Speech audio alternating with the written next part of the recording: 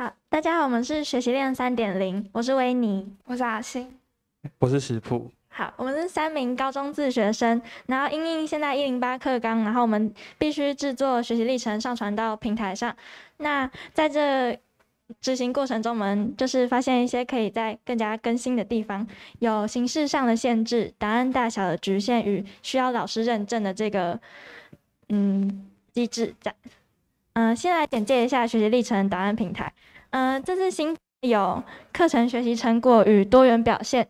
课程学习成果比较偏向于，嗯，体制内的话就是校定必修啊，然后课程等等。那多元表现就是自主学习的部分，有干部、社团、服务、竞赛、检定，都是多元表现。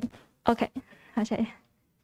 好，我们看见的需求是希望能够更加符合我们现在。不管是在执行，还有证明，还有表达能力的培养，希望能以去中心化的方式，嗯，制作一个学习记录平台，希望能够更加有帮助，而不是成为限制。好，好，然后诶这样子，所以我们就去想说，我们可不可以用一个结合去中心化跟区块链的学习历程？呃，前面刚有讲过，现在我们上传学习历程的。呃，就只能上传 PDF 档，呃，上传 PDF 档，然后还有很多限制，就是包含格式啊、档案大小等等。那还要还需要老师的认证，就是我们需要呃老师认证跟参与营队活动才能上传学习历程档案。那如果我们呃在这个平台上，然后有去中心化后，那我们就可以呃，因为现在的学习风气是很多元化的，所以比如说我举一个例子，像一个。然后呢，我们想象的平台呢，可能就是你可以随时发，就像 Medium 一样，你可以随时发表你的文章。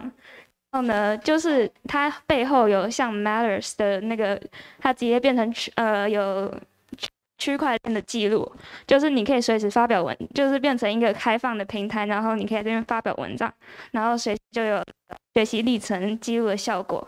然后这平台同时也可以像学生版的 LinkedIn 一样。就是可以，嗯，知道大家在做什么之类的。好，嗯，因为我们就是没有什么就是城市设计的那个，嗯，基础，所以希望能寻找能够协助我们制作平台的伙伴。然后，如果更想了解的部分，都可以在后续找我们聊天。好，谢谢大家。